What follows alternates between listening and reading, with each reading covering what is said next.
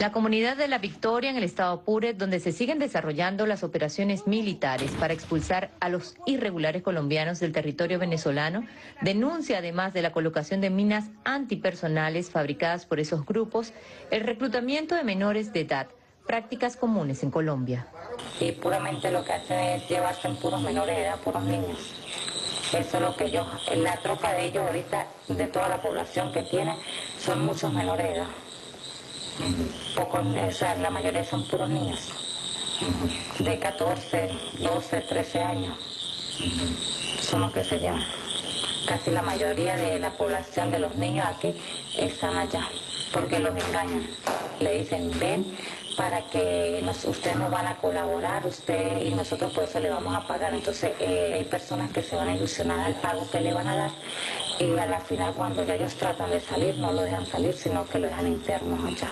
Ha, llegado a los límites, pues, donde ahorita en estos momentos eh, minas dentro del, dentro del territorio y lo otro en la población, lo que se había venido generando que es lo que tiene que ver el captura de los muchachos del pueblo que se estaban, se lo están capturando, muchachos menores de edad, niñas menores de edad de 14, 13 años. Toda esa situación ha venido influyendo mucho eh, dentro del pueblo. El reclutamiento lleva a que ya los padres empiezan a sentir inseguros dentro de la misma situación y se genera una preocupación del pueblo. Con la Fuerza Armada desplegada tratando de sacar del territorio a estos grupos irregulares colombianos, pues eh, comenzó la operación quirúrgica una bomba fue colocada acá en el CENIAT, el organismo de recaudación de impuestos de Venezuela, y así quedó. Todas las acciones terroristas fueron acompañadas de una estrategia mediática que se dirigió desde Colombia. Se crearon redes sociales y grupos WhatsApp. Manipuló bastante.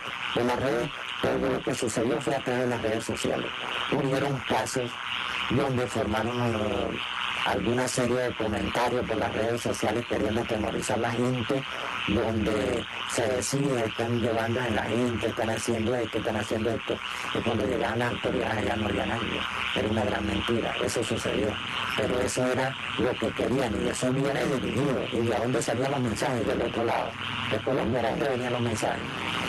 Han dicho que las, casas en, en el Villa las han quemado pero como siempre se le dice, ¿por qué no pasan un video? Yo soy una de las que digo, ¿por qué no pasan un video cuando el CONA o el ejército ya están quemando la casa? ¿Por qué no pasan un video? No, pasan es después, cuando ellos salen, pasa un solo señor, que siempre es el que ha pasado, es el que hace los videos, hace los audios, que mire que quemaron esta casa, entonces se escuchan los rumores que puede ser él, porque como él es colaborador de la gente, entonces puede ser que puede ser que sean ellos porque en fin, no había ni siquiera el primer video donde la tanqueta esté dañando, donde la tanqueta esté bombardeando una casa, no, no se ha visto ni siquiera el primer, no se ha visto, se miran después que las cosas han pasado. También les llama poderosamente la atención que del lado colombiano no haya contención para estos grupos. hay un trasfondo más allá de esto.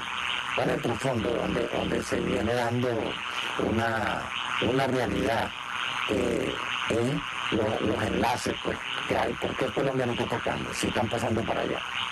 ¿Ah? ¿Por qué tiene los corredores libres? Vemos seguridad al otro lado. Vemos que están atacando al otro lado, los que están pasando de allá para aquí para allá. No, no lo hay.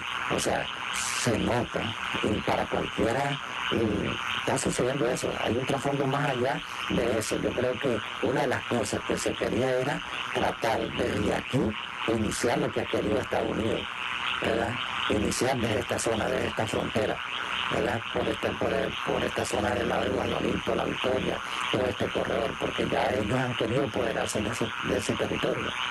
La operación Escudo Bolivariano continúa en pleno desarrollo. Se siguen liberando los pueblos que están en la ribera del río.